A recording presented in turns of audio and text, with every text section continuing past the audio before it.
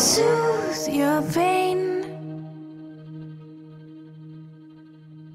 I won't ease your strain. I seek you out, flay you alive. One more word you won't survive.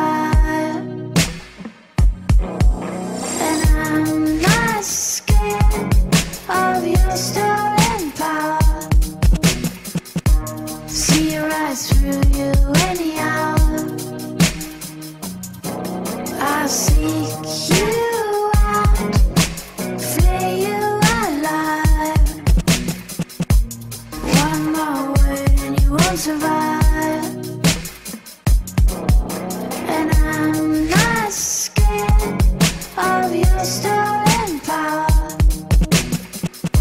See right through you any hour.